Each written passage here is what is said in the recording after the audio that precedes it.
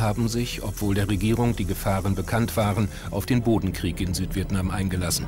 Die US-Armee, ausgebildet zur konventionellen Kriegsführung, ist in den Dschungeln und Sümpfen Vietnams überfordert. Die Nationale Befreiungsfront verweigert den offenen Kampf. Ihre Angriffe erfolgen aus dem Rückhalt unzähliger kleiner Dörfer und Siedlungen, wo die Aufständischen kaum von der Zivilbevölkerung zu unterscheiden sind. Junge US-Infanteristen übernehmen die nervenaufreibende Suche nach dem Feind. Der Vietnamkrieg ist aus amerikanischer Sicht eine neue Art von Krieg. Im Zweiten Weltkrieg gab es große Truppen, die sich gegenüberstehen.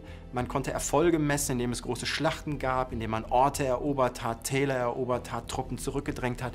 Der Vietnamkrieg wird heute mit dem Begriff asymmetrischer Krieg bezeichnet. Also wir haben eine große Streitmacht auf der amerikanischen Seite und oft unsichtbare Gegner auf der anderen Seite. Es gibt keine Front, weil die Guerilla überall agiert unterschiedlich intensiv, aber überall versucht präsent zu sein. Ähm, äh, äh, weil sie ähm, im Amerikanischen würde es heißen Hit-and-Run-Tactics verfolgt, also sie schlägt zu und verschwindet wieder in den Dörfern. Ähm, ähm sie ist also einfach nicht dingfest, lokalisierbar. Sie ist nicht lokalisierbar und das macht den Krieg einfach sehr schwierig. Der Bodenkontakt findet im Süden statt. Das sind ländliche Gebiete. Das Mekong-Delta, das ist eine sehr feuchte Region mit vielen Flüssen und mit einem sehr weit verzweigten Flusssystem. Also im Grunde genommen Sumpfgebiet. Dann gibt es so im Süden noch einige Ebenen, in denen sehr viel intensive Reiswirtschaft betrieben wird. Freies Feld, aber auch eben feucht. Und dann gibt es sehr viel Wald, Urwald, Dschungel. In diesem unwegbaren Terrain kann sich die Guerilla traditionell auf die Unterstützung der Zivilbevölkerung verlassen. Die Kämpfer stammen selbst aus den aufständischen Regionen und sie haben sich schon immer um die Belange der Bauern gekümmert.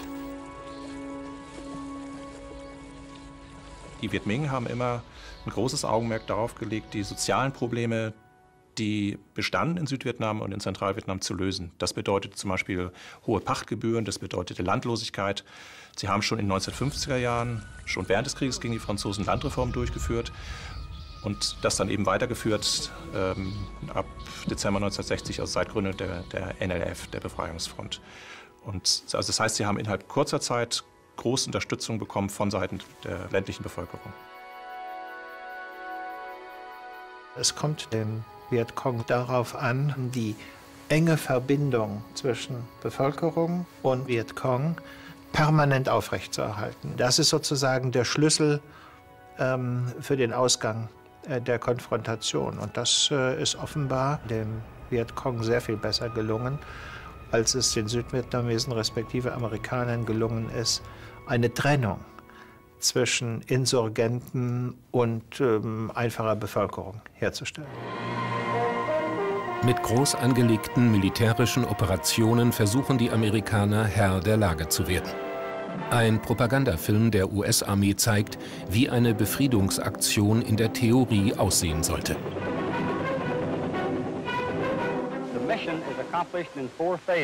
Wir erreichen unser Ziel in vier Stufen. Erstens riegeln wir ein Dorf ab und zerschlagen die örtliche Organisation des Vietcong. Zweitens sichern wir das Einsatzgebiet durch flächendeckende Patrouillen. Drittens gewinnen wir das Vertrauen der Bevölkerung, indem wir für Sicherheit und eine funktionierende Zivilverwaltung sorgen. Viertens entwickeln wir die Zusammenarbeit zwischen lokalen Behörden und der Regierung Südvietnams.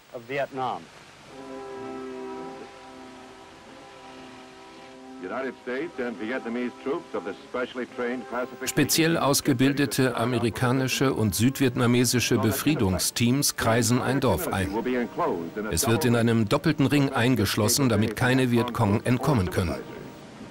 Im Morgengrauen ist der ganze Ort hermetisch abgeriegelt.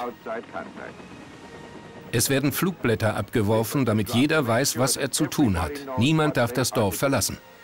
No one is to leave the village.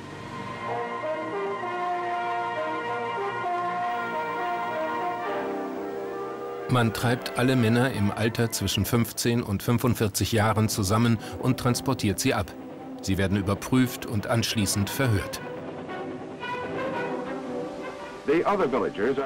Den anderen Dorfbewohnern wird mitgeteilt, dass sie nichts zu befürchten haben. Von nun an wird der Vietcong sie nicht mehr bedrohen können. Unterdessen läuft die Durchsuchung des Ortes. Findet man Tunnel, werden sie ausgeräuchert und man überprüft, ob sie geheime Waffen und Proviantlager bergen. Mit recht unbeholfenen Methoden versuchen die Amerikaner das Vertrauen der Bevölkerung zu gewinnen. Sie meinen dadurch den Rückhalt, den die Befreiungsbewegung in der Zivilbevölkerung genießt, brechen zu können. Der Vietcong fürchtet diese Operation, weil er nun das Volk nicht mehr terrorisieren kann. Denn wer keine Angst hat, wird sich gegen die Aggression zur Wehr setzen. Es ist ihnen nie gelungen, die Herzen der, der Bewohner zu erringen. Sie haben die Herzen einer korrupten Mittelklasse gewonnen, die kassiert haben und reich geworden sind. Die haben die Bauern ausgebeutet, ausgepresst.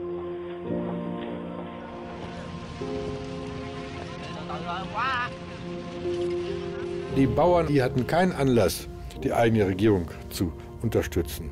Und auch nicht die amerikanischen Soldaten, die am Ende gar nicht mehr wussten, wer ist Freund, wer ist Feind. Und äh, um sicher zu gehen, machen wir alle nieder. Ja, damit äh, kann ich nicht die Herzen der, der Einheimischen gewinnen.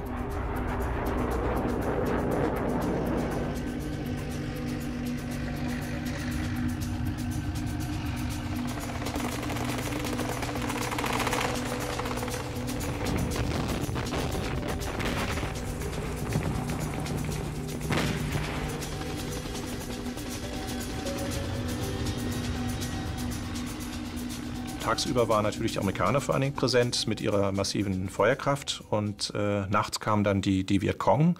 Also tagsüber war, waren sozusagen die Regierungsbeamten da, die die Bauern auch noch geknetet haben durch erhöhte Abgaben. Und wenn man dann sozusagen loyal war zum eigenen Regime und auch zu den, freundlich zu den Amerikanern, kam am Abend im Dunkeln die Vietcong und wurden dann diese Leute massakriert. Also was, hast was tut man da? Ein amerikanischer Film, hergestellt aus erbeutetem vietnamesischem Material, schildert einen Angriff der Befreiungsfront. Sie bestimmt Ort und Zeitpunkt des Geschehens. Die Vietcong attackieren ein gepanzertes Truppenfahrzeug. Sie zerstören es und töten einige Besatzungsmitglieder. Gefangene werden barfuß durch den Dschungel abgeführt.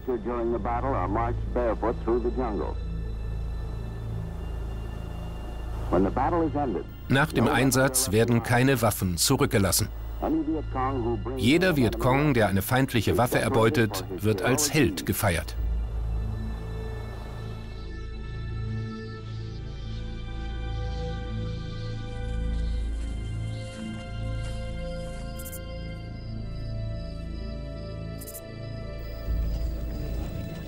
Wie ein Schulungsfilm der US-Armee zeigt, sind amerikanische Infanteristen in jedem Dorf, das sie betreten, gefährdet.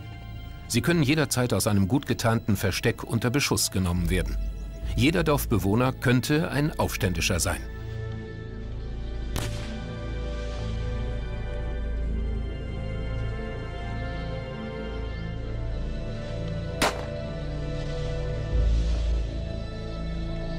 Das ist dem Vietcong recht gut gelungen, dass die Kämpfer in der Bevölkerung äh, verschwinden und untertauchen können und äh, bei Gegebenheit tendenziell die gesamte Bevölkerung sich in Kämpfer verwandelt.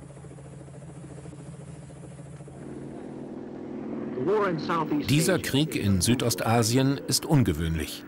Es gibt keine Frontlinien.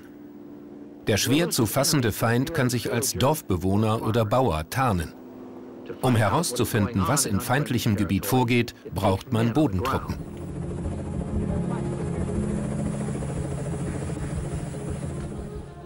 Bei ihren Search-and-Destroy-Missionen durchkämmen amerikanische Patrouillen in oft mehrwöchigen Einsätzen feindliches Terrain. Sie begeben sich dabei in höchste Gefahr, haben aber nur mäßigen Erfolg. Der Gegner ist nicht sichtbar.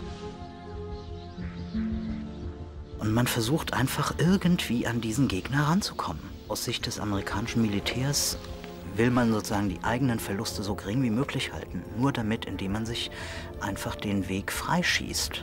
Die US-Armee verschärft im Kampf gegen die Aufständischen die militärische Härte. Sie versucht, ihnen die Rückzugsräume zu nehmen. Dann kommen Pionierpanzer und planieren große Dschungelflächen, um dem Vietcong in Zukunft das Versteck zu nehmen.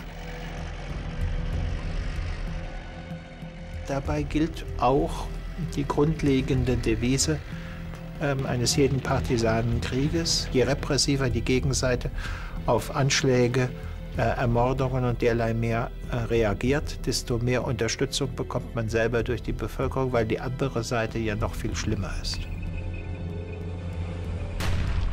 Auf alles, was irgendwie sich bewegt wird, geschossen. Mit allen Mitteln. Das amerikanische Militär hat in fast unbegrenzter Anzahl Munition. Und da wird gefeuert, wie es geht. Und hinterher sieht das Gebiet halt aus wie eine Mondlandschaft.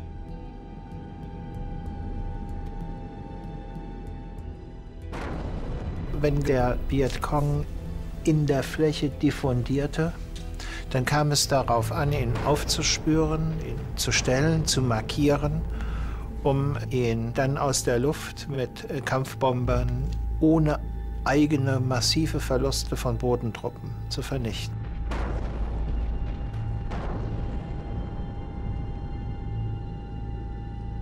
Das war das Konzept, äh, das aber natürlich so nicht aufgegangen ist. In diesem unübersichtlichen Krieg setzt die US-Luftwaffe verstärkt Napalm gegen vietnamesische Dörfer ein. Dabei handelt es sich um ein langsam brennendes, verdicktes Benzingemisch, das kaum zu löschen ist. Insgesamt werden während des Krieges ungefähr 400.000 Tonnen Napalm über Vietnam abgeworfen. Kollateralschäden äh, wurden immer massiver. Äh, die Identifikation äh, des Vietcong war nicht zuverlässig, wie hätte es auch sein können. In der ähm, Aufspürung von Partisanen, die gewissermaßen sich immer wieder mit der Bevölkerung vermischt haben, sodass also Napalm, nicht, also diese spezifische Waffe äh, der Amerikaner, gleichsam zum Symbol der amerikanischen Kriegsverbrechen in Vietnam geworden ist.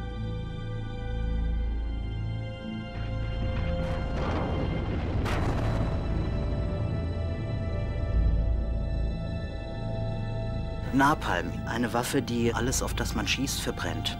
Und das, was nicht brennt, stirbt daran, dass es keinen Sauerstoff mehr hat. Also eine ganz schlimme Waffe, die gegen militärische Ziele eingesetzt wird, die im Krieg zunehmend aber auch eingesetzt wird äh, gegenüber Zielen, wo die Unterscheidung von zivil und militärisch nicht mehr so einfach zu treffen ist.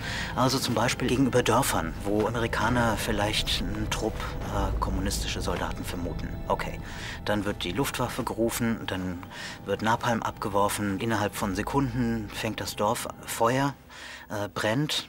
Ähm, aber unter Umständen sind halt eben auch noch Frauen, Kinder, alte Leute, Bauern auch noch da die dann auch sterben. Also entweder weil sie verbrennen oder weil sie eben an äh, Sauerstoffmangel sterben. Also eine berüchtigte Waffe. Das amerikanische Militär setzt auf Masse. Das Heer von Versorgungstruppen, das die US Air Force mit Napalm beliefert, sorgt auch für den Nachschub von unzähligen Sprengbomben.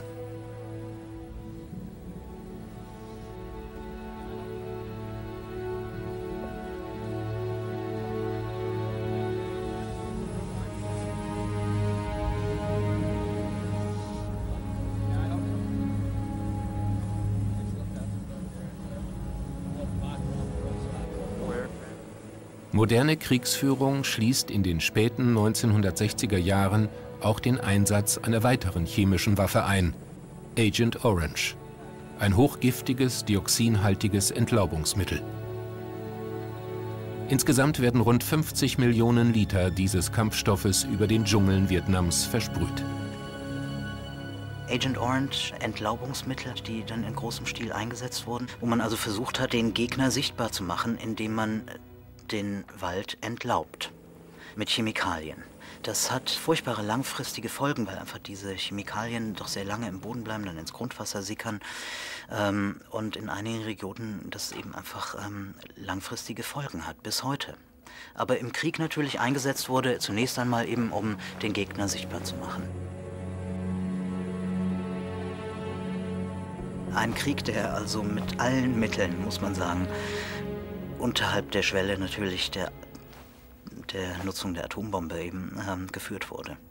Dieser Krieg war in dieser Form, mit dieser Zähigkeit der Nordvietnamesen gegen diesen Besatzer, gegen diese weißen Eindringlinge, das waren die Amerikaner in, der, in dem Verständnis, äh, das waren Feinde, äh, war nicht zu gewinnen. Kurzum, die Herstellung massiver technologischer amerikanischer Überlegenheit ist gescheitert oder konterkariert worden durch ihre Unfähigkeit, zwischen Freund und Feind präzise zu unterscheiden.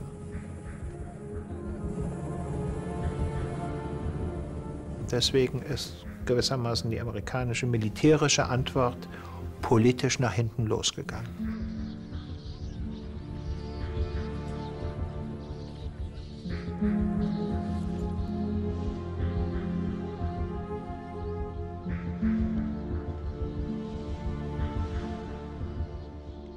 Man darf sich nicht auf die Art der Kriegsführung der stärkeren Seite einlassen.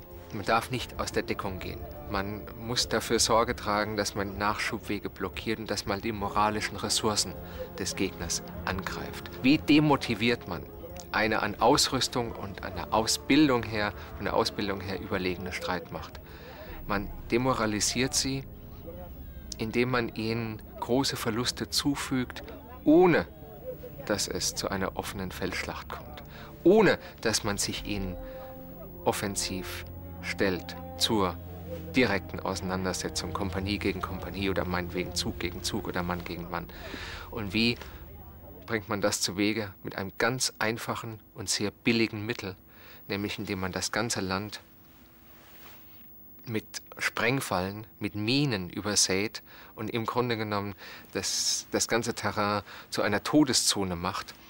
Zu einer Todeszone, in der sich die feindlichen Soldaten überhaupt nicht bewegen können, ohne damit rechnen zu müssen, in jeder Sekunde auf eine Sprengfalle, auf eine Mine zu treten. Das genau war in Vietnam der Fall. Es gab Einheiten, äh, bei der amerikanischen Armee und auch bei den Marines, die 50 Prozent ihrer Verluste nur durch den Einsatz von Sprengfallen hatten, die nie einen Gegner zu Gesicht bekommen hatten. Ein Krieg, der mit ungleichen Mitteln geführt wird. Und da versuchen eben die vietnamesischen äh, Soldaten einzusetzen, was geht. Sie versuchen halt so viele amerikanische Soldaten zu treffen wie möglich, mit relativ begrenzten Mitteln. Das sind zum Beispiel eben Fallen wie Erdgruben. In den Dschungeln Vietnams kämpft die Guerilla nicht nur mit geschmuggelten oder gestohlenen Waffen. Sie fertigt primitive Fallen an, die dem Nichtsahnenden extrem gefährlich werden können. Es sind äh, Gruben dann, in denen Bambusstöcke, die so angespitzt sind, unten stehen, die also äh, erhebliche Verletzungen auslösen.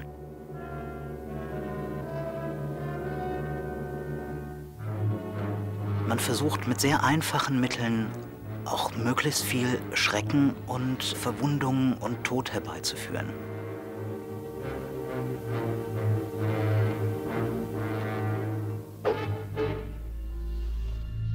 Ein Lehrfilm für amerikanische Soldaten warnt vor einer weiteren Gefahr, den sogenannten Booby Traps. Diese Sprengfallen sind zwar nicht immer tödlich, kosten aber etlichen Infanteristen das Augenlicht, eine Hand oder ein Bein. Überall könnte so eine tückische Sprengladung versteckt sein. Selbst einer scheinbar harmlosen Wäscheleine sollte man sich nur mit größter Vorsicht nähern.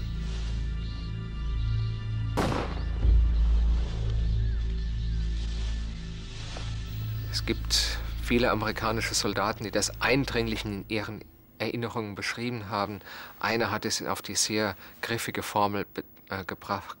If you half step, it might be your last step. Also wenn du einen Fuß an die falsche Stelle setzt, war das möglicherweise dein letzter Schritt. Die Kämpfer der nationalen Befreiungsbewegung schlagen mit den Waffen des Gegners zurück.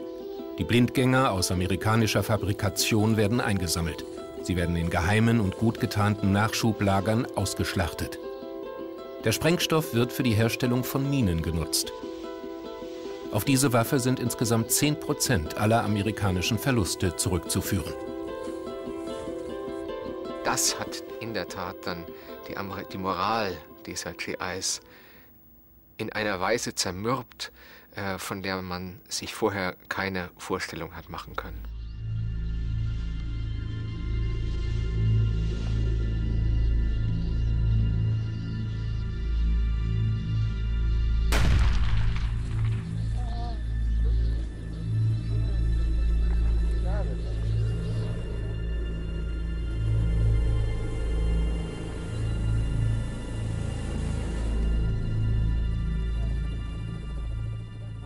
Einerseits verbreiten die Amerikaner ja Schrecken und Terror, aber das tun natürlich die, äh, die kommunistischen Soldaten auch. Sie versuchen natürlich das amerikanische Militär auch zu terrorisieren, sie zum Abzug zu bewegen mit allen Mitteln. Und da sind sie äh, doch relativ erfolgreich, was sich ganz zynisch natürlich an der Anzahl der amerikanischen Gefallenen ablesen lässt. Und die, ähm, die Todesrate, die steigt halt dramatisch an.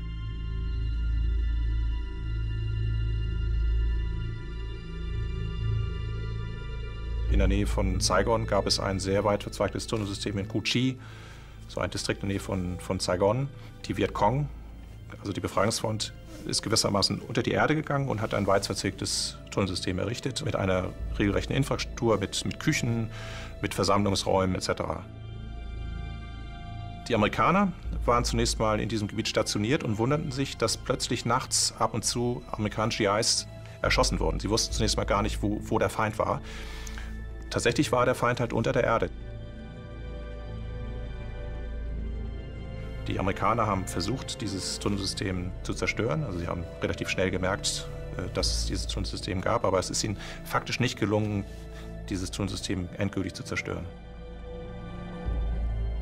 Wenn man nur eine Ahnung davon hat, mit welcher Leidenschaft, Hingabe, Zähigkeit, Entschlossenheit der vietnamesische Soldat tagelang mit einer Handvoll Reis im Busch gehockt hat. Wenn man, was man heute machen kann, einen Teil der Tunnelanlage sich anschauen kann und sich klar macht, dass diese Vietnamesen in fünf Etagen gelebt haben, wie die Maulwürfe. In fünf Etagen mit Krankenhäusern in der Erde.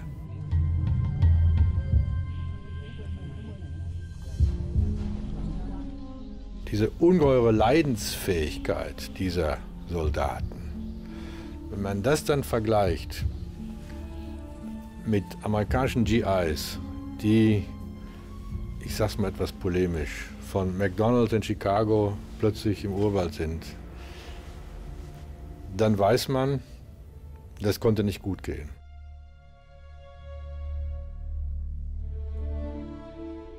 Die Vietnamesen haben gegen die Chinesen gekämpft, gegen die Franzosen gekämpft, gegen die Japaner gekämpft.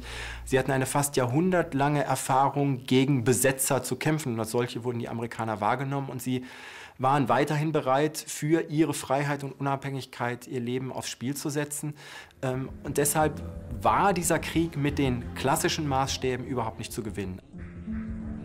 Man kann sagen, dass die Dimension eines existenziellen Kämpfens immer auf der Seite der Nordvietnamesen und des Vietcong gewesen ist. Es war sozusagen ihr Land, ihre Werte, ihre Zukunft.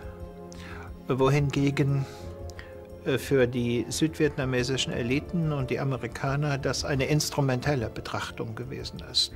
Die Bereitschaft, weitere Eskalationsschritte zu machen, die die Bereitschaft des Sterbens einschließt, sprach immer für den Vietcong. Das US-Militär setzt verstärkt fliegende Festungen zur Bodenunterstützung ein. Diese Douglas AC-47 sind mit schweren Maschinengewehren vom Typ Gatling bestückt und nehmen mit 4000 Schuss pro Minute festgelegte Planquadrate, sogenannte Free Fire Zones, unter Feuer.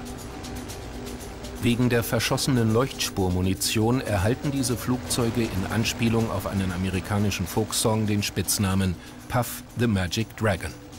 Man versucht noch einmal äh, verstärkt äh, durch den Gebrauch der Luftwaffe, den Vietcong, den man nicht sicher identifiziert hat, gleichsam durch das Verheeren äh, von Segment äh, zu Segment äh, zu vertreiben und zu vernichten. Äh, also eine Form der Barbarisierung des Krieges, die hier einsetzt. Südvietnamesische und amerikanische Truppen halten Nachschubwege offen, indem sie eine große Basis des Vietcong attackieren. Zuerst wird das Camp von der Marine unter schweres Feuer genommen. So deckt sie den Vormarsch der Infanterie.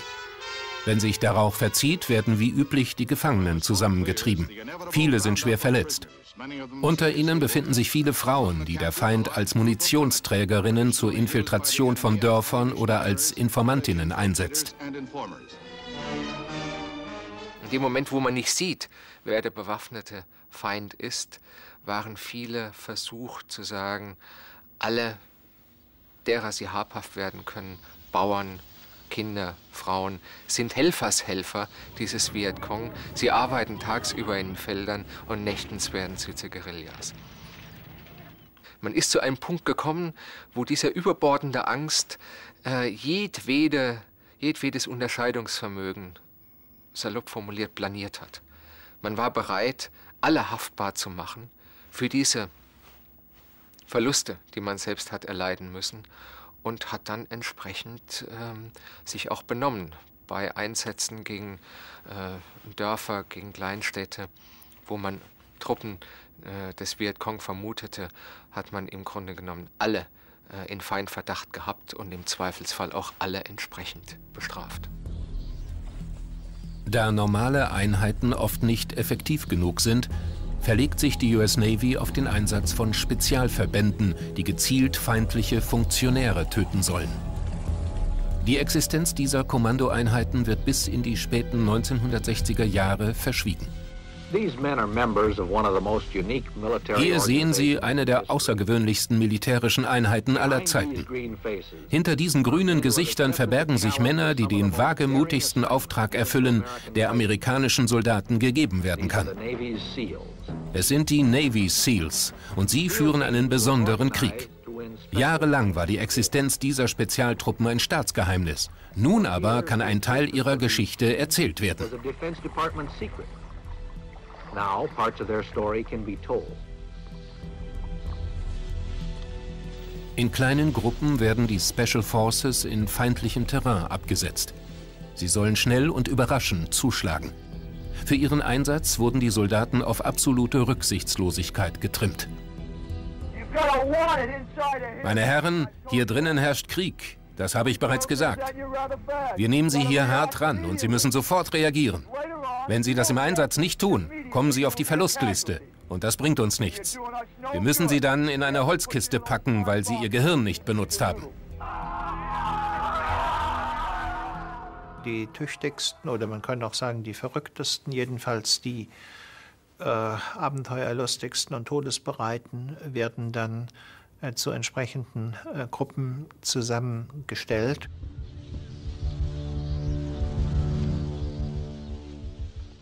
Eine wichtige Rolle spielt, dass innerhalb dieser äh, Kampfverbände die Männer sich aufeinander verlassen können.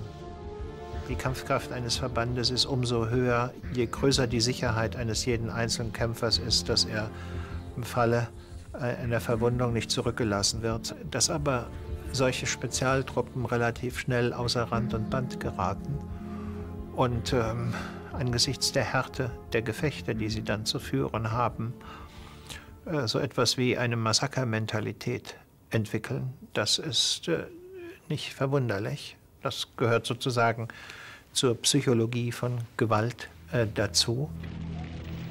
Im Laufe des Jahres 1967 steigert sich der Druck auf die US-Einheiten, möglichst hohe Bodycount-Zahlen zu liefern. Einzelne Truppenteile reagieren auf die ständige Anwesenheit des Todes mit ganz eigenen Ritualen. Sie hinterlegen bei jedem getöteten Vietnamesen eine Spielkarte. Sie denken, das Pik Ass wird von den Überlebenden als Todeszeichen, als Drohung und Warnung begriffen.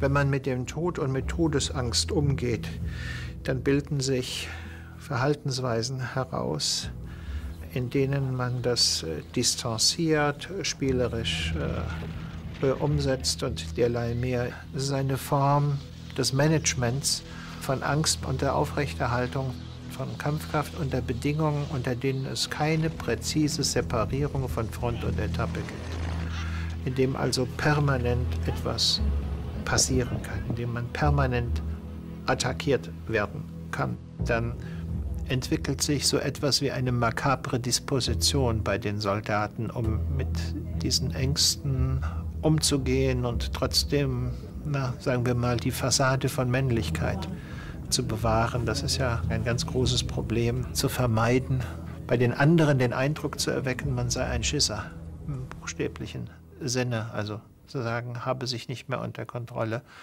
Und ähm, dass da allerhand makabre Praktiken dann äh, sich ausbreiten, das ähm, würde ich sagen, gehört zu normalen Reaktionsmechanismen, wenn man in diesem Zusammenhang von Normalität sprechen darf. Zwischen Juni und November 1967 wird die Tiger Force, eine Eliteeinheit aus altgedienten Kämpfern der 101. Airborne Division in der Küstenprovinz Quangai südlich von Da Nang eingesetzt. Das Songwe-Tal wird zur Free Fire Zone erklärt und die Einheit, deren Erkennungszeichen Kampfanzüge mit Tigermuster, Schnauzbärte und breitkrempige Allwetterhüte sind, zieht mordend und vergewaltigend durch das Land.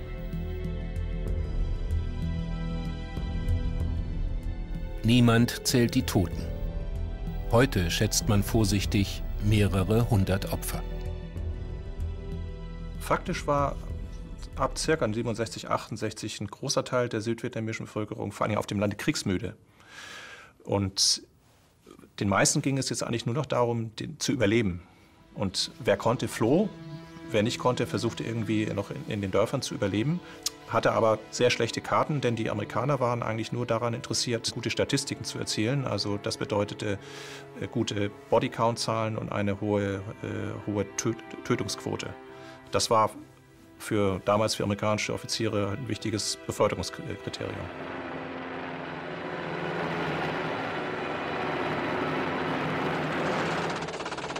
Und wenn ein vietnamesischer Bauer auf dem Reisfeld arbeitete, und ein Hubschrauber vorbeikam und dieser Bauer aus Furcht floh, dann war für die Hubschrauberbesatzung klar, das ist ein Vietcong, weil er flieht und er wurde eben mit der MG niedergemäht. Diese alltägliche Gewalt zieht sich im Grunde genommen von dem Jahr 1965 bis zu dem Rückzug im Mai 1975. Sie nimmt unterschiedlichste Formen an.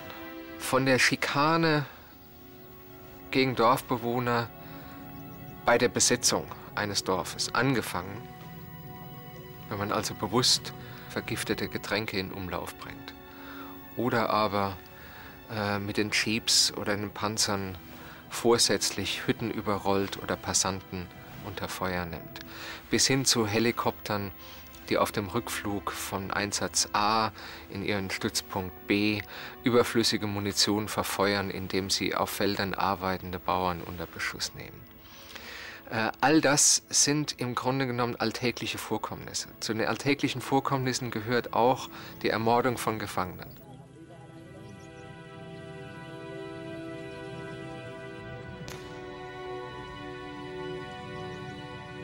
Folter ist an der Tagesordnung. Alle foltern. Alle foltern. Ähm, also ähm, es, es, wäre, denke ich, äh, ungerecht sozusagen zu sagen, äh, nur die Amerikaner tun es.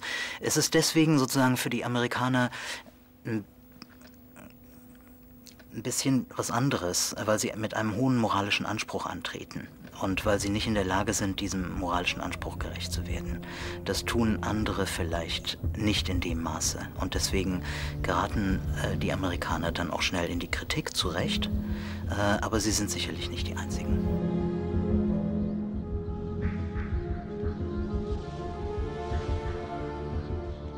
Einige der GIs wurden dann in Südvietnam sofort ermordet und zum Teil verstümmelt und dann gewissermaßen zur Schau gestellt, um die, äh, die anderen GIs, äh, die ihren getöteten Kameraden dann fanden, zu demoralisieren. Das wurden verschiedene Extremitäten abgeschnitten und die wurden auf einem Dschungelpfad so zur Schau gestellt, dass die GIs, die halt dann die, die, äh, ihre Kameraden dann suchten, früher oder später auf die Leichen rafen. Auch die Befreiungsfront verübt Gräueltaten an Zivilisten. So überfallen im Dezember 1967 zwei Vietcong-Bataillone das Dorf Dak Son mit Flammenwerfern und nehmen Rache an den Montagnard, vietnamesischen Ureinwohnern, die sich in den Schutz der südvietnamesischen Regierung begeben haben. Über 250 Menschen sterben. Unter militärischen Aspekten hat die Befreiungsfront zunächst mal auch zurückgegriffen auf Guerillataktiken. Ähm, sie hat die äh, unter der Dorfbevölkerung Guerillakämpfer rekrutiert. Zunächst mal hat sie das versucht durch Überzeugungsarbeit. Allerdings hat sie auch durchaus Druckmittel ein, äh, eingesetzt und wenn es notwendig war, auch durchaus äh, härtere Mittel.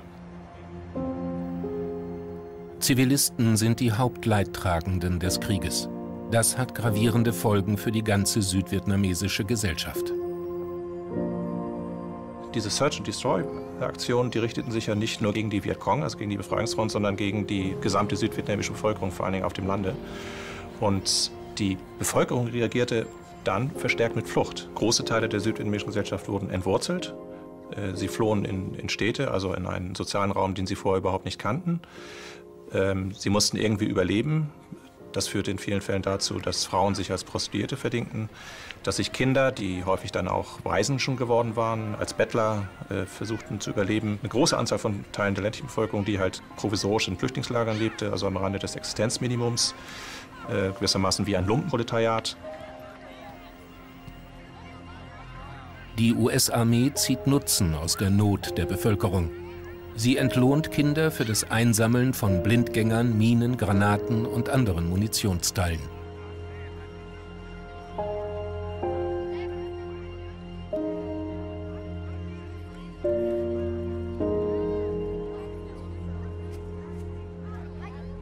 Jetzt passiert genau das, was äh, Kennedy vorausgesagt hatte. Immer mehr Soldaten, mehr, mehr, mehr, mehr, mehr. Im Frühjahr 1968 sind sage und schreibe 550.000 amerikanische Soldaten in Vietnam stationiert. Das muss man sich mal vorstellen. 550.000, die die gesamte Struktur dieses Landes auf den Kopf stellen. Ende 1967 erklärt US-Oberbefehlshaber William Westmoreland, die Kommunisten seien nun bald besiegt und er sehe das Licht am Ende des Tunnels. Der Feind, so denkt er, kann der stetigen Truppenerhöhung von Seiten der USA auf Dauer nichts entgegensetzen. Die Hoffnung war immer, wenn wir noch ein bisschen weitergehen, noch 10.000, noch 20.000, noch 50.000 Truppen mehr haben, noch ein paar mehr Bombardierungen machen und noch mehr Tote auf der anderen Seite zählen, dann knickt die andere Seite ein. Und das erwies sich immer wieder als Trugschluss. Aber das hieß auch, dass Amerika so langsam und immer deutlicher in diesen Krieg hineinging, immer weiter eskalierte. Und manche haben das schon mal mit dem Sumpf ähm, beschrieben, Quagmire im amerikanischen. Also man ging immer einen Schritt weiter und mit jedem Schritt, den man ging, ging man immer tiefer in den Sumpf hinein. Dieses Bild stimmt ein Stück weit. Andererseits ging man auch sehenden Auges in diesen Sumpf hinein. Also es war nicht nur der Sumpf, der einen dann zog und man hatte gar nicht gedacht, dass das passieren könnte, aber doch, die Eskalationen waren klein und die Hoffnung einen Schritt weiter und dann ist das sogenannte Licht am Ende des Tunnels und das verkündete man dann auch der Bevölkerung ja immer wieder.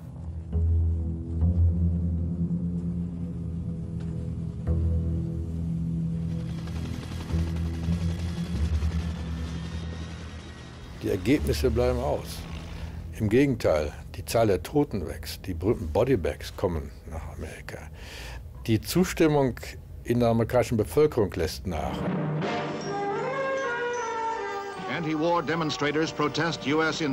Antikriegsaktivisten protestierten mit Massendemonstrationen gegen das Engagement der USA im Vietnamkrieg.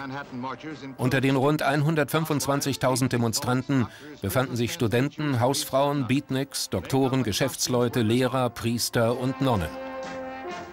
Die Verkleidungen waren bizarr. Obwohl es meist friedlich blieb, kam es zu feurigen Wortgefechten. Gleichzeitig demonstrierten 50.000 Personen im Zentrum von San Francisco. Organisiert wurden die Aktionen von einem Bündnis aus Linken, Pazifisten und gemäßigten Kriegsgegnern. Präsident Johnson ließ unterdessen mitteilen, das FBI würde alle Aktivitäten gegen den Krieg gründlich überprüfen. Man hat einfach jahrelang von 65 an bis in den Winter 67, 68 hinein mit Kriegsnachrichten konfrontiert wird ähm, und immer wieder den Verlautbarungen des Militärs zuhört, die sagen, wir gewinnen diesen Krieg. Und es dauert halt einfach an und es dauert immer länger, beginnt man natürlich zu fragen. Also da baut sich allmählich auch so eine gewisse Skepsis auf. In Teilen der politischen Elite ist das schon sehr viel früher der Fall, wo sehr viele schon sagen, wir sollten das nicht machen. Ähm, das ist der falsche Krieg am falschen Ort.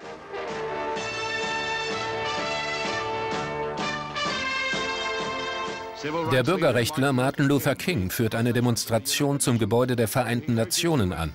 Hier fordert er die UN zum Einschreiten gegen die US-Bombardements in Nordvietnam auf.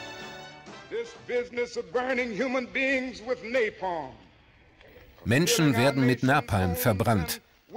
Bei uns wächst die Zahl der Witwen und Waisen. Männer kehren körperlich und psychisch versehrt von den düsteren, blutigen Schlachtfeldern heim. Das ist unvereinbar mit Weisheit, Gerechtigkeit und Liebe. Ein Land, das Jahr für Jahr mehr Geld für die Rüstung ausgibt als für Sozialreformen, stirbt moralisch is approaching spiritual death.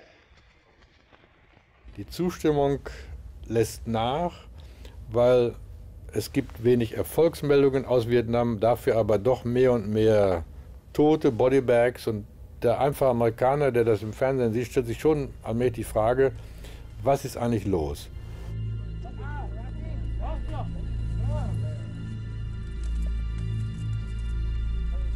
Die Wende ist ganz klar natürlich dann die bekannte TED-Offensive einfach, ähm, wo diese Verlautbarungen, wir gewinnen diesen Krieg, einfach konterkariert werden durch die größte Offensive, die es in diesem Krieg jemals gegeben hat.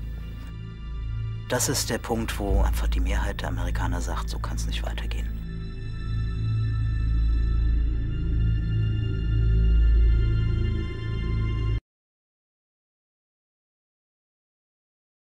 In den Dörfern. Ähm, ähm, sie ist also einfach nicht dingfest, lokalisierbar. Sie ist nicht lokalisierbar und das macht den Krieg einfach sehr schwierig.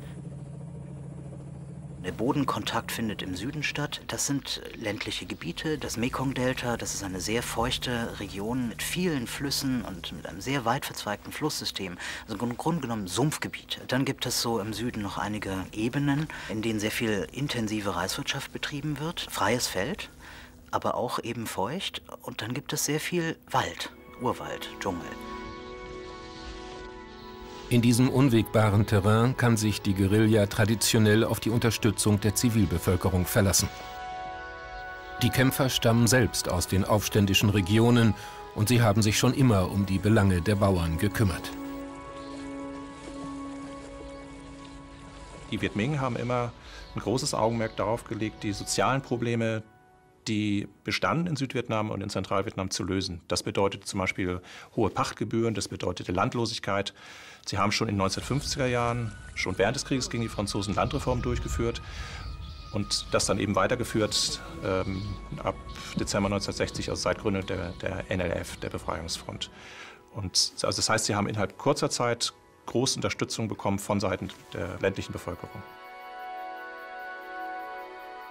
Es kommt den Vietcong darauf an, die enge Verbindung zwischen Bevölkerung und Vietcong permanent aufrechtzuerhalten. Das ist sozusagen der Schlüssel ähm, für den Ausgang äh, der Konfrontation. Und das äh, ist offenbar dem Vietcong sehr viel besser gelungen, als es den Südvietnamesen respektive Amerikanern gelungen ist, eine Trennung zwischen Insurgenten und ähm, einfacher Bevölkerung herzustellen. Mit groß angelegten militärischen Operationen versuchen die Amerikaner Herr der Lage zu werden. Ein Propagandafilm der US-Armee zeigt, wie eine Befriedungsaktion in der Theorie aussehen sollte.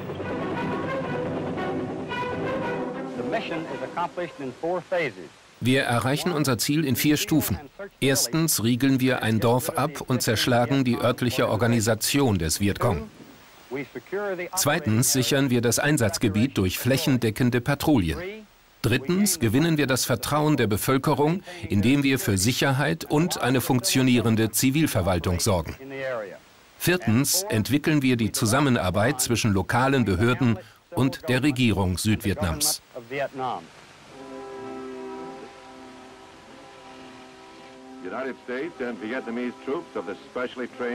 Speziell ausgebildete amerikanische und südvietnamesische Befriedungsteams hat große Unterstützung bekommen von Seiten der ländlichen Bevölkerung.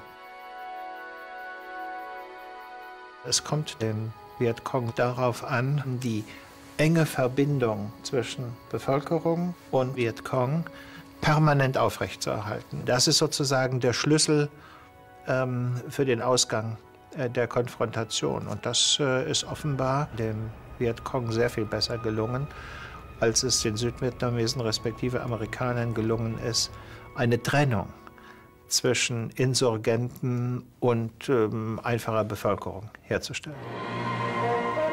Mit groß angelegten militärischen Operationen versuchen die Amerikaner Herr der Lage zu werden. Ein Propagandafilm der US-Armee zeigt, wie eine Befriedungsaktion in der Theorie aussehen sollte.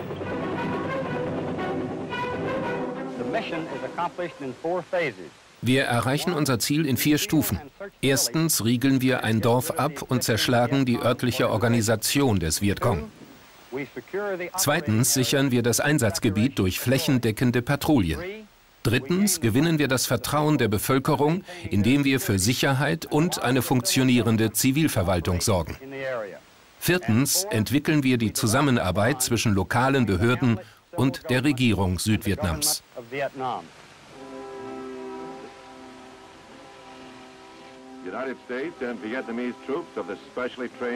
Speziell ausgebildete amerikanische und südvietnamesische Befriedungsteams kreisen ein Dorf ein. Es wird in einem doppelten Ring eingeschlossen, damit keine Vietcong entkommen können. Im Morgengrauen ist der ganze Ort hermetisch abgeriegelt. Es werden Flugblätter abgeworfen, damit jeder weiß, was er zu tun hat. Niemand darf das Dorf verlassen. No one is to leave the village.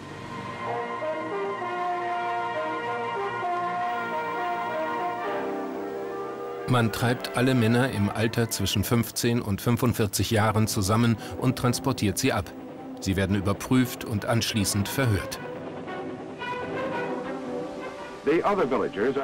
Den anderen Dorfbewohnern wird mitgeteilt, dass sie nichts zu befürchten haben. Von nun an wird der Vietcong sie nicht mehr bedrohen können. Unterdessen läuft die Durchsuchung des Ortes. Findet man Tunnel, werden sie ausgeräuchert und man überprüft, ob sie geheime Waffen und Proviantlager bergen. Mit recht unbeholfenen Methoden versuchen die Amerikaner das Vertrauen der Bevölkerung zu gewinnen. Sie meinen dadurch den Rückhalt, den die Befreiungsbewegung in der Zivilbevölkerung genießt, brechen zu können. Der Vietcong fürchtet diese Operation, weil er nun das Volk nicht mehr terrorisieren kann. Denn wer keine Angst hat, wird... Vietcong und wurden dann diese Leute massakriert. Also was, hast, was tut man da? Ein amerikanischer Film, hergestellt aus erbeutetem vietnamesischem Material, schildert einen Angriff der Befreiungsfront. Sie bestimmt Ort und Zeitpunkt des Geschehens. Die Vietcong attackieren ein gepanzertes Truppenfahrzeug. Sie zerstören es und töten einige Besatzungsmitglieder. Gefangene werden barfuß durch den Dschungel abgeführt.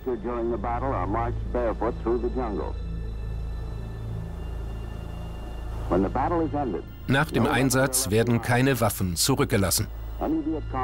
Jeder Vietcong, der eine feindliche Waffe erbeutet, wird als Held gefeiert.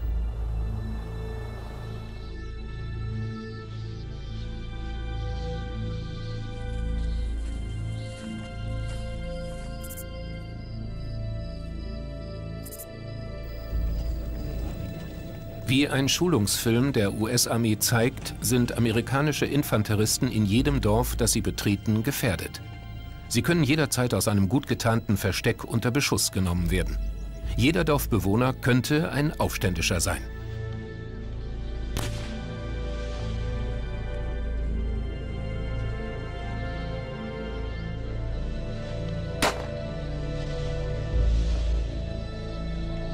Das ist dem Vietcong recht gut gelungen, dass die Kämpfer in der Bevölkerung äh, verschwinden und untertauchen können und äh, bei Gegebenheit tendenziell die gesamte Bevölkerung sich in Kämpfer verwandelt.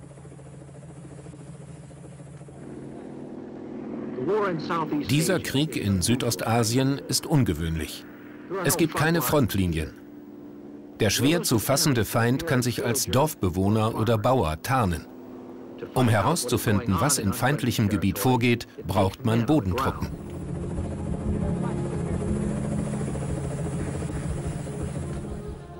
Bei ihren Search-and-Destroy-Missionen durchkämmen amerikanische Patrouillen in oft mehrwöchigen Einsätzen feindliches Terrain. Sie begeben sich dabei in höchste Gefahr, haben aber nur mäßigen Erfolg. Der Gegner ist nicht sichtbar. Und man versucht einfach irgendwie an diesen Gegner ranzukommen. Aus Sicht des amerikanischen Militärs will man sozusagen die eigenen Verluste so gering wie möglich halten. Nur damit, indem man sich einfach den Weg freischießt. Die US-Armee verschärft im Kampf gegen die Aufständischen die militärische Härte. Sie versucht, ihnen die Rückzugsräume zu nehmen. Dann kommen Pionierpanzer und planieren große Dschungelflächen, um den Vietcong... Soldaten, die das eindringlich in ihren Erinnerungen beschrieben haben. Einer hat es auf die sehr griffige Formel äh, gebracht. If you half step, it might be your last step. Also wenn du einen Fuß an die falsche Stelle setzt, war das möglicherweise dein letzter Schritt. Die Kämpfer der nationalen Befreiungsbewegung schlagen mit den Waffen des Gegners zurück. Die Blindgänger aus amerikanischer Fabrikation werden eingesammelt. Sie werden in geheimen und gut getarnten Nachschublagern ausgeschlachtet. Der Sprengstoff wird für die Herstellung von Minen genutzt. Auf diese Waffe sind insgesamt 10 Prozent aller amerikanischen Verluste zurückzuführen.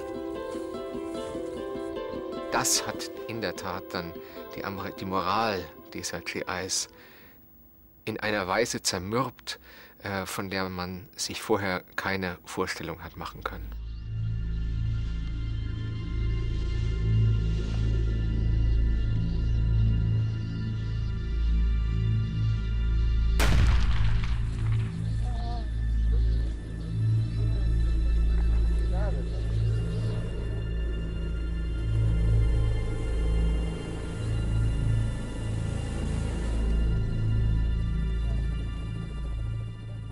Einerseits verbreiten die Amerikaner ja Schrecken und Terror, aber das tun natürlich die, äh, die kommunistischen Soldaten auch. Sie versuchen natürlich das amerikanische Militär auch zu terrorisieren, sie zum Abzug zu bewegen mit allen Mitteln. Und da sind sie äh, doch relativ erfolgreich, was sich ganz zynisch natürlich an der Anzahl der amerikanischen Gefallenen ablesen lässt. Und die, ähm, die Todesrate, die steigt halt dramatisch an.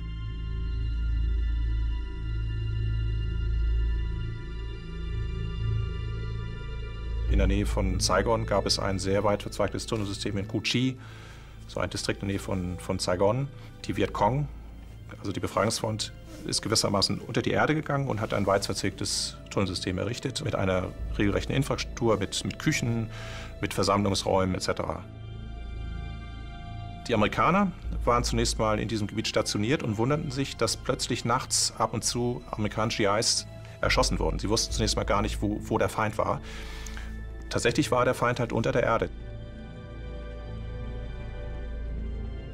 Die Amerikaner haben versucht, dieses Tunnelsystem zu zerstören. Also sie haben relativ schnell gemerkt, äh, dass es dieses Tunnelsystem gab, aber es ist ihnen faktisch nicht gelungen, dieses Tunnelsystem endgültig zu zerstören.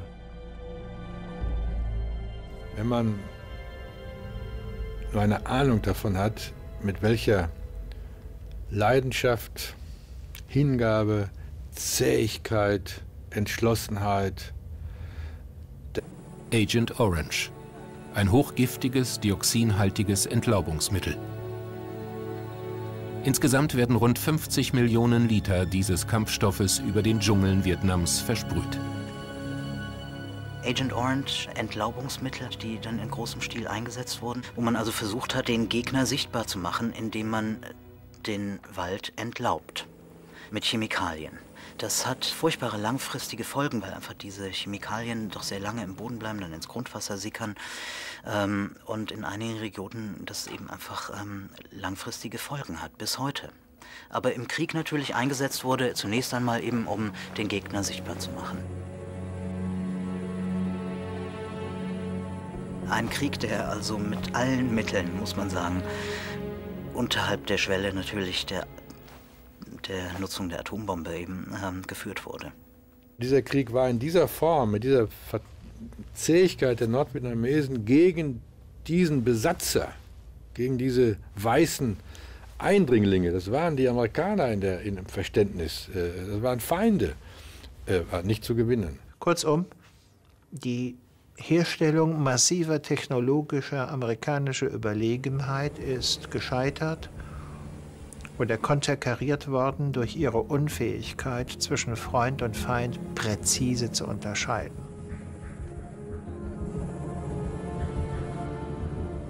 Deswegen ist gewissermaßen die amerikanische militärische Antwort politisch nach hinten losgegangen.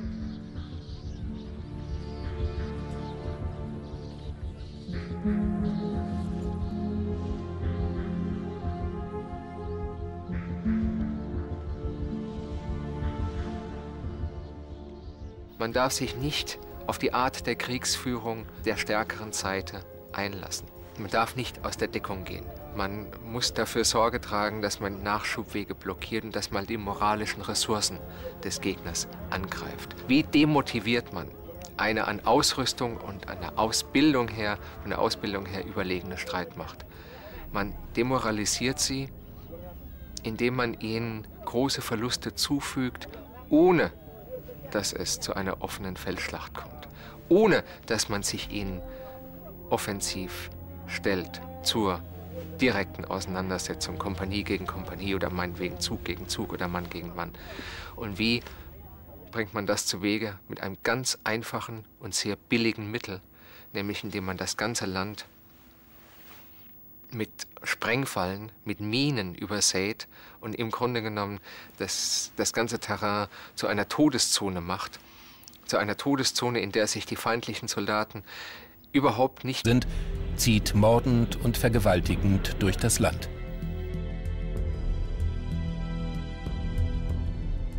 Niemand zählt die Toten. Heute schätzt man vorsichtig mehrere hundert Opfer. Faktisch war ab ca. 67, 68 ein großer Teil der südvietnamesischen Bevölkerung, vor allem auf dem Lande, kriegsmüde.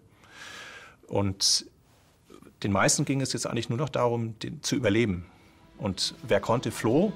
Wer nicht konnte, versuchte irgendwie noch in, in den Dörfern zu überleben hatte aber sehr schlechte Karten, denn die Amerikaner waren eigentlich nur daran interessiert, gute Statistiken zu erzielen. Also das bedeutete äh, gute Bodycount-Zahlen und eine hohe, äh, hohe Tötungsquote.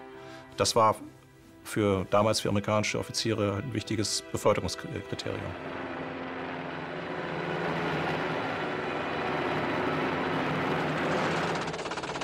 Und wenn ein vietnamesischer Bauer auf dem Reisfeld arbeitete äh, und ein Hubschrauber vorbeikam und dieser Bauer aus Furcht floh, dann war für die Hubschrauberbesatzung klar, das ist ein Vietcong, weil er flieht und er wurde eben mit der MG niedergemäht. Diese alltägliche Gewalt zieht sich im Grunde genommen von dem Jahr 1965 bis zu dem Rückzug im Mai 1975. Sie nimmt unterschiedlichste Formen an. Von der Schikane gegen Dorfbewohner bei der Besetzung eines Dorfes angefangen, wenn man also bewusst vergiftete Getränke in Umlauf bringt. Oder aber äh, mit den Jeeps oder den Panzern vorsätzlich Hütten überrollt oder Passanten unter Feuer nimmt. Bis hin zu Helikoptern, die auf dem Rückflug von Einsatz A in ihren Stützpunkt B überflüssige Munition verfeuern, indem sie auf Feldern arbeitende Bauern unter Beschuss nehmen. Äh, all das sind im Grunde genommen alltägliche Vorkommnisse. Zu den alltäglichen Vorkommnissen gehört auch die Ermordung von Gefangenen.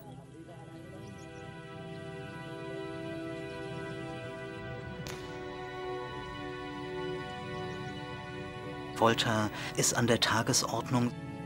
Alle foltern. Alle foltern. Ähm, also ähm, es, es, wäre, denke ich, äh, ungerecht sozusagen zu sagen, äh, nur die Amerikaner tun es. Es ist deswegen sozusagen für die Amerikaner ein bisschen was anderes, weil sie mit einem hohen moralischen Anspruch antreten und weil sie nicht in der Lage sind, diesem moralischen Anspruch gerecht zu werden. Das tun andere vielleicht nicht in dem Maße. Und deswegen geraten äh, die Amerikaner dann auch schnell in die Kritik, zu Recht. Äh, aber sie sind sicherlich nicht die Einzigen.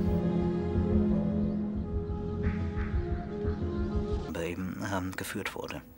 Dieser Krieg war in dieser Form, mit dieser Zähigkeit der Nordvietnamesen gegen diesen Besatzer, gegen diese weißen Eindringlinge, das waren die Amerikaner in der, in dem Verständnis, äh, das waren Feinde, äh, war nicht zu gewinnen. Kurzum, die Herstellung massiver technologischer amerikanischer Überlegenheit ist gescheitert oder konterkariert worden durch ihre Unfähigkeit, zwischen Freund und Feind präzise zu unterscheiden.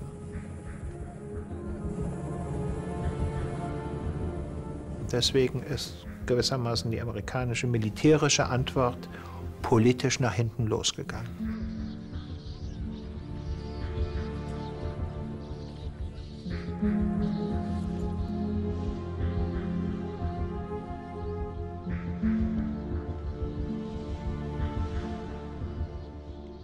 Man darf sich nicht auf die Art der Kriegsführung der stärkeren Seite einlassen. Man darf nicht aus der Deckung gehen. Man muss dafür Sorge tragen, dass man Nachschubwege blockiert und dass man die moralischen Ressourcen des Gegners angreift. Wie demotiviert man eine an Ausrüstung und an der Ausbildung her, von der Ausbildung her überlegene Streitmacht? Man demoralisiert sie, indem man ihnen große Verluste zufügt, ohne dass es zu einer offenen Feldschlacht kommt, ohne dass man sich ihnen offensiv stellt zur direkten Auseinandersetzung, Kompanie gegen Kompanie oder meinetwegen Zug gegen Zug oder Mann gegen Mann. Und wie bringt man das zu Wege? Mit einem ganz einfachen und sehr billigen Mittel, nämlich indem man das ganze Land mit Sprengfallen, mit Minen übersät und im Grunde genommen das, das ganze Terrain zu einer Todeszone macht, zu einer Todeszone, in der sich die feindlichen Soldaten überhaupt nicht bewegen können, ohne damit rechnen zu müssen, in jeder Sekunde auf eine Sprengfalle, auf eine Mine zu treten. Das genau war in Vietnam der Fall. Es gab Einheiten äh, bei der amerikanischen Armee und auch bei den Marines, die 50 Prozent ihrer Verluste nur durch den Einsatz von Sprengfallen hatten, die nie einen Gegner zu Gesicht bekommen hatten ein Krieg, der mit ungleichen Mitteln geführt wird.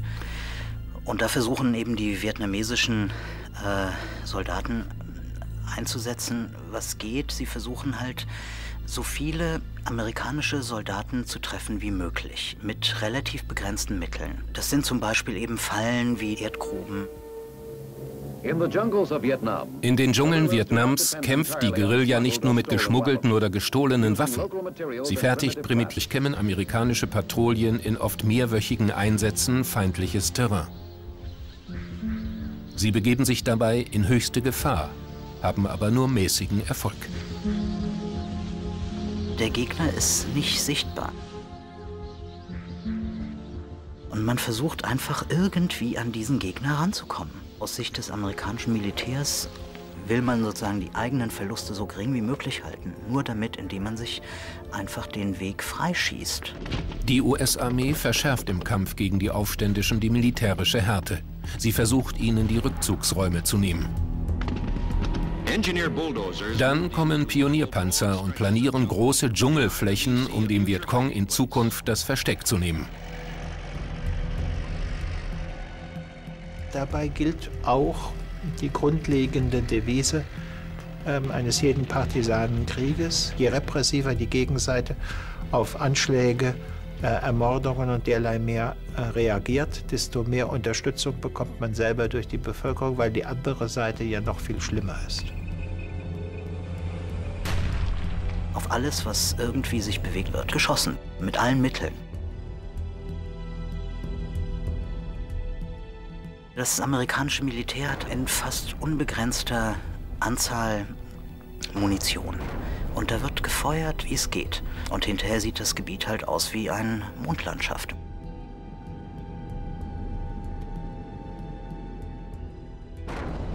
Wenn der Vietcong in der Fläche diffundierte, dann kam es darauf an, ihn aufzuspüren, ihn zu stellen, zu markieren, um ihn dann aus der Luft mit Kampfbombern ohne eigene massive Verluste von Bodentruppen zu vernichten.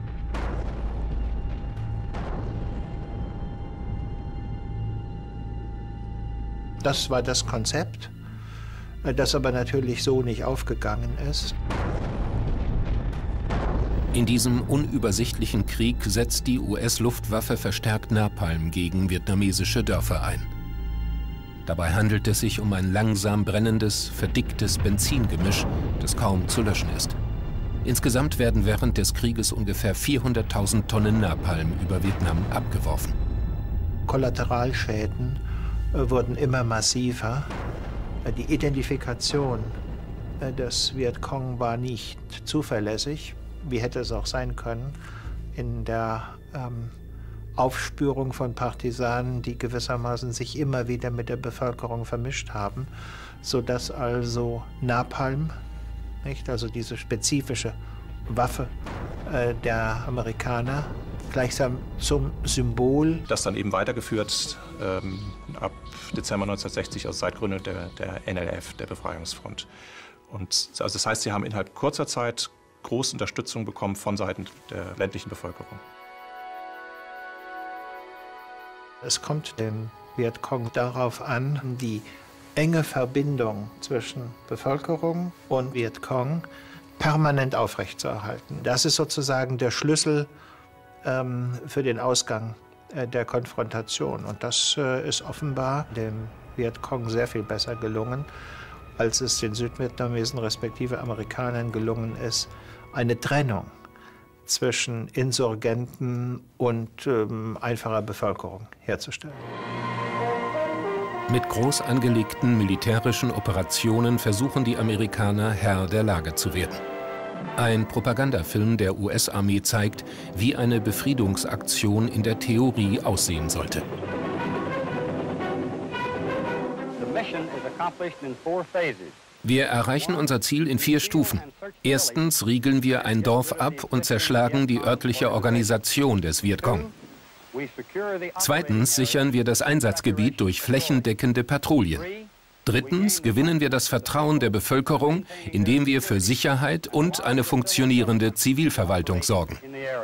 Viertens entwickeln wir die Zusammenarbeit zwischen lokalen Behörden und der Regierung Südvietnams.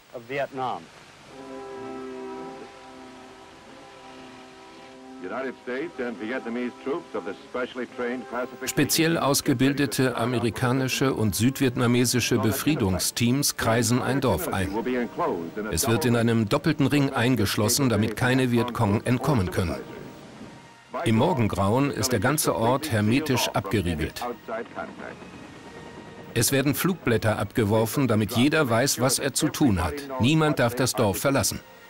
No one is to leave the village.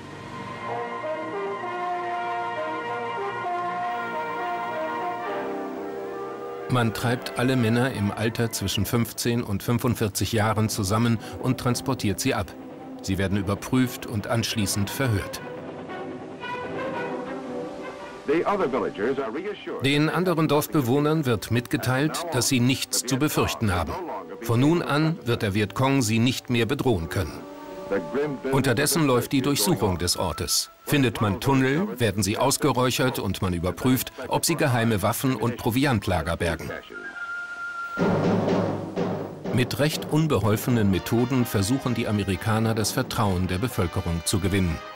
Sie meinen dadurch den Rückhalt, den die Befreiungsbewegung in der Zivilbevölkerung genießt, brechen zu können. Kunden fängt das Dorf Feuer, äh, brennt, ähm, aber unter Umständen sind halt eben auch noch Frauen, Kinder, alte Leute, Bauern auch noch da, die dann auch sterben. Also entweder weil sie verbrennen oder weil sie eben an äh, Sauerstoffmangel sterben. Also eine berüchtigte Waffe. Das amerikanische Militär setzt auf Masse. Das Heer von Versorgungstruppen, das die US Air Force mit Napalm beliefert, sorgt auch für den Nachschub von unzähligen Sprengbomben.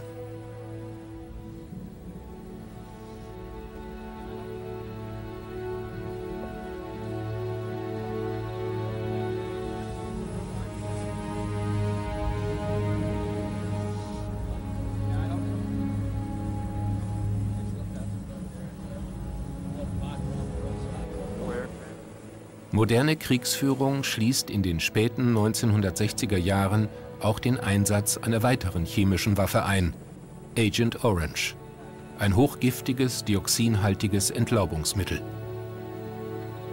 Insgesamt werden rund 50 Millionen Liter dieses Kampfstoffes über den Dschungeln Vietnams versprüht.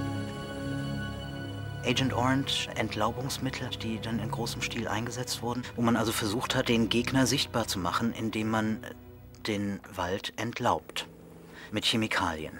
Das hat furchtbare langfristige Folgen, weil einfach diese Chemikalien doch sehr lange im Boden bleiben, dann ins Grundwasser sickern ähm, und in einigen Regionen das eben einfach ähm, langfristige Folgen hat, bis heute. Aber im Krieg natürlich eingesetzt wurde, zunächst einmal eben, um den Gegner sichtbar zu machen. Ein Krieg, der also mit allen Mitteln, muss man sagen, unterhalb der Schwelle natürlich der, der Nutzung der Atombombe eben ähm, geführt wurde. Dieser Krieg war in dieser Form, mit dieser Zähigkeit der Nordvietnamesen gegen diesen Besatzer, gegen diese weißen Eindringlinge, das waren die Amerikaner in, der, in dem Verständnis, äh, das waren Feinde, äh, war nicht zu gewinnen. Kurzum, die Herstellung massiver technologischer amerikanischer Überlegenheit ist gescheitert oder konterkariert worden durch ihre Unfähigkeit, zwischen Freund und Feind präzise zu unterscheiden.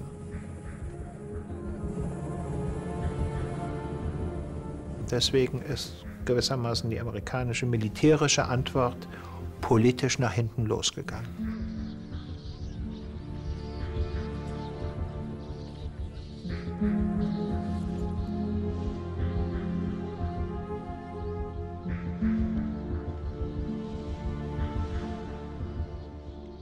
Man darf sich nicht auf die Art der Kriegsführung